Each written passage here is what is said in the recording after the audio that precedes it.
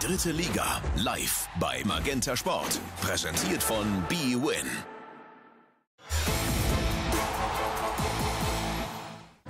Der MSV Duisburg empfing die zweite Mannschaft des FC Bayern München für die beste Heimmannschaft der Liga, was die Chance mit einem Sieg die Herbstmeisterschaft klarzumachen.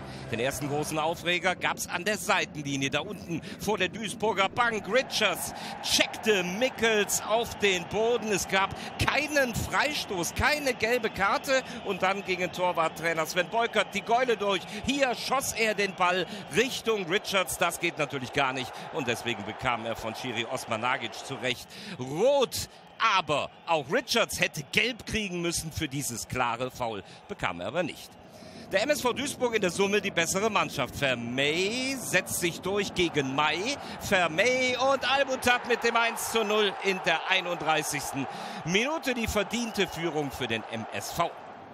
Achten Sie auf die Nummer 15 der Bayern. Der junge Lasse Mai hätte hier konsequenter hingehen müssen. Vermey setzt sich durch, hat den Blick für Albutat. Ein schönes Tor für die Gastgeber, die auch in der Folgezeit die bessere Mannschaft waren. Spielverlagerung. Richards kriegt den Ball da nicht weg und dann kommt der Mickels, wurschtelt sich durch.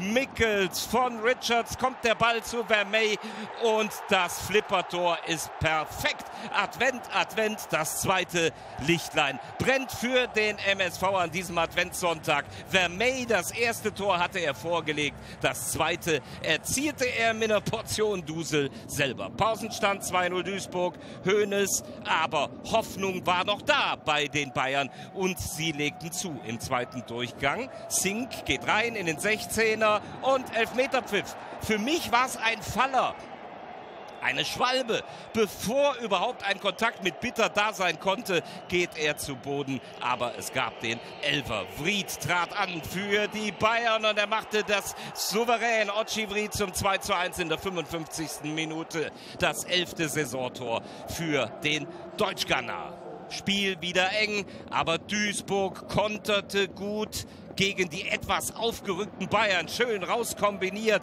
und dann Vermey, Vermey auf Mickels.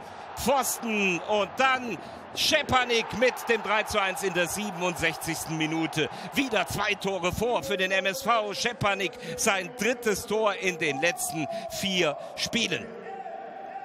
Duisburg auf Kurs, Herbstmeisterschaft, aber hinten raus wurde es dann doch noch mal eng, weil die Bayern wieder kamen. Zirkzee und Vried mit seinem zweiten Tor, sein zwölftes insgesamt in dieser Spielzeit zum 3 zu 2. Nochmal Anschlusstreffer für die Bayern, aber dieser kam zu spät. Endstand 3 zu 2 für den MSV Duisburg. Der MSV ist Herbstmeister. Wir haben ein super Spiel gemacht. Wir als junge Mannschaft gegen den Tabellenführer gut, äh, gut gespielt. Ja, leider unglückliche Gegentore kassiert. Wenn man die ersten zwei waren irgendwelche Flipper-Dinger, dritte Pfosten abgefälscht. Ja, Glück hat, war nicht bei unserer Seite heute. Aber ich bin sehr, sehr stolz auf, der, äh, auf die Mannschaft. Mir heute total wichtig war, ich habe den Jungs gesagt, wir müssen heute wirklich diese kämpferische Haltung an den Tag legen. Und ähm, da muss ich sagen, mit den äh, Personalsituationen, die wir hatten heute, ähm, bin ich äh, hoch zufrieden, aber trotzdem jetzt äh, nach dem Spiel auch ein bisschen angespannt. Der MSV gewinnt sein achtes von neun Heimspielen. Duisburg ist nicht nur Herbstmeister, sondern vor allem ein überzeugender Herbstmeister. Alle Spiele der dritten Liga und vieles mehr live bei Magenta Sport.